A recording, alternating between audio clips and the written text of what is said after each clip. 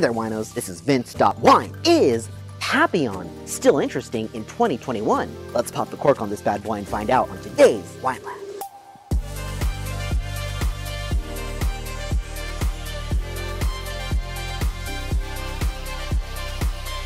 Hey, thanks for joining me. And before we get started today, if you want to be a winoceros, hit subscribe on this channel to become a wino today. I'll put out new videos every single Saturday, so be sure to hit that bell icon to stay notified for more great wine content. Okay, so this is the 2018 Papillon, and this wine has been pretty famous for some time now. I'm sure you recognize this really cool label with the hands and the Papillon tattooed on the knuckles. So this is one of those David Phinney wines. It's an Orin Swift wine, and I like to keep it about the wine here at Vince.wine, but this is the second David Phinney wine that I'm reviewing, the first being The Prisoner, and David Phinney uh, released another Zinfandel blend that I definitely want to pop the cork on. And I'll talk a little bit more about who David Phinney is if you're not familiar and what his story is, because it has a lot to do with that wine. But for today, we're just gonna take this for what it is. So Papillon is what we call a Bordeaux style blend or a Meritage blend. And it is Meritage, not Meritage. Sometimes we like to Frenchify that word and call it Meritage, but it's Meritage based on California winemakers' heritage.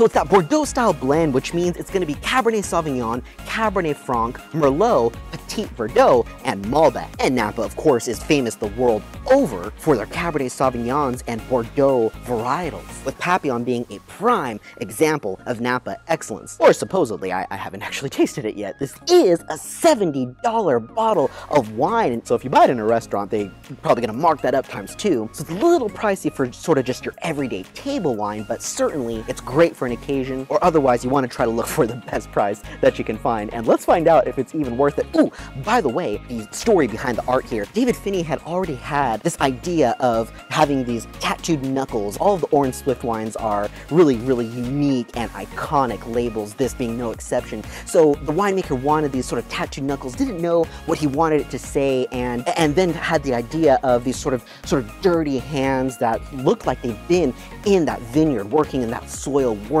in that terroir. But David Phinney actually was listening to a, a young girl in France pointing out a butterfly and realized, oh my gosh, Papillon, that is the perfect name for this wine. And I imagine it went a bit like this.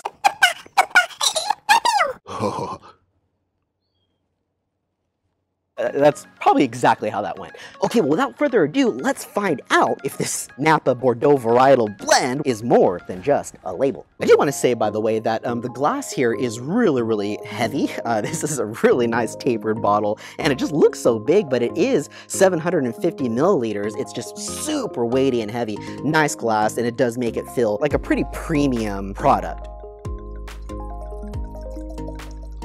Okay, in the glass here, yeah, it does look like a really beautiful sort of violet color here. So I can see on the rim, it's slight ruby red there, but it just deepens into this pretty concentrated color. And I can't tell, but it looks a touch cloudy. So I'm not sure if they completely filter this here. And as I turn the glass, I am getting some staining on there that tells me a little bit about the body of this wine. Super strong tears or legs there that speak to that viscosity and intensity of the wine. okay Okay, I want to start here. This is definitely a serious wine. It's not giving me like a face full of jammy fruit. It's not giving me like a face full of oak or anything like that.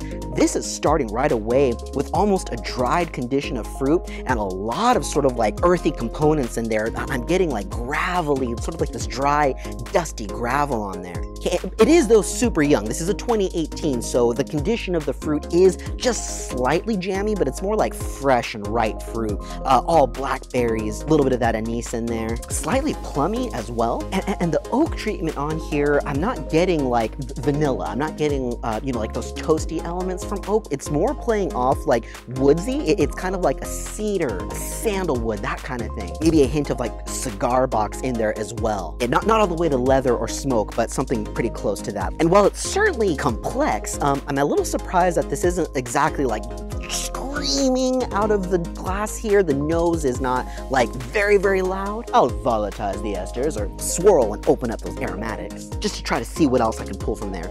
yeah, it is, it is quite nice. Um, let's just go ahead and get it on the palate. That's really good. That's really nice. This wine just threw me out of character.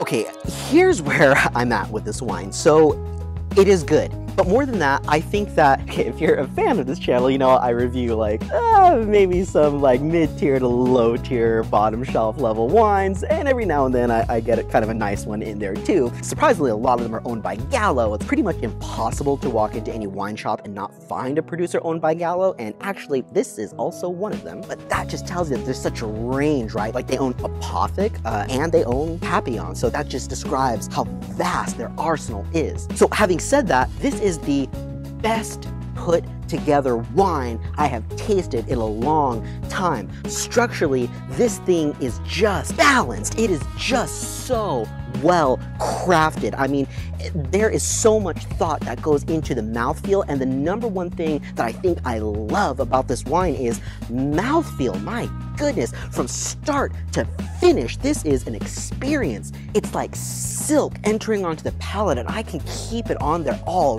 day. It's just smooth and soft and supple and luscious. Man, this is such a delight to have on the palate. Then as you finish it, oh yeah, there's just this savoriness to it. It hits me in all the right places on the palate as well, and that finish goes forever. It just keeps on going even now I'm left with some really beautiful fruitiness and again a kiss of that dryness from, from oak and actually kind of still that gravel flavor in there too. Really, really beautiful complexity. Now having said all of that, um, I pretty much have to say this wine is about the structure. It is all about those things I just said, the mouthfeel. That's what this is all about.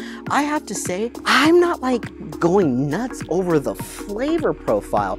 It's a little rustic even though it's youthful. Um, besides that, yeah, I, it's just not bringing me like these flavors that are making me go, oh, the depth, the richness. I think I could have used even more complexity maybe, um, different earth, newer oak. I, I'm not, maybe a different blend of varietals, throwing some other things in there. I'm not exactly sure what it is. It seems slightly straightforward to me.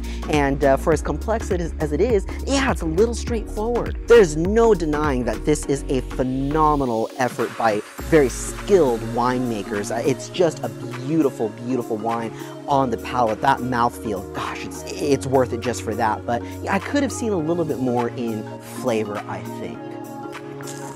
You know what? I think this is a $60 wine, maybe 65. I'd be happy with it. I think I spent too much today with $70. And by the way, winos, I am not going to do that again. Um, I think it's uh, time to start a Patreon. And if you winos want to see me review really, really high-end wines, then uh, you can help donate to it so that I can afford them. Yeah, I, I would say 60, 65. Uh, certainly not a $100 wine. I I'm not sure what all the raving is about. Without becoming redundant, yeah, that mouthfeel, the craftsmanship, beautiful, but for that price, I would have wanted to have a much grander experience as far as the flavor profile as well. Whew, okay, I really just wanted to finally give this wine a review. I know it's super popular, so the question is, is Papillon still interesting in 2021? I'd have to say sure. Uh, you know, it's definitely an example of fantastic winemaking. I guess if someone is like serving it to you or they ordered it at the restaurant or they poured it at their house, um, then certainly it's nothing to turn your nose up. But for the price, I probably won't buy this one again, but certainly there are some other great Orin Swift wines out there and there's one that I'm really excited to try. So that'll be coming in a future episode. Keep your eyes out for it. Okay, let's see how much you want to kill me in the comments for my, I guess, not so great review of, of Papillon. But let me know, what do you want to think? Do you love this wine? What do you love about it? What other Orin Swift and David Phinney wines are out there that you like? What other Gallo wines are out there that you like? There's thousands of them, literally. Let me know in the comments. And until next time, winos, drink safe and drink well.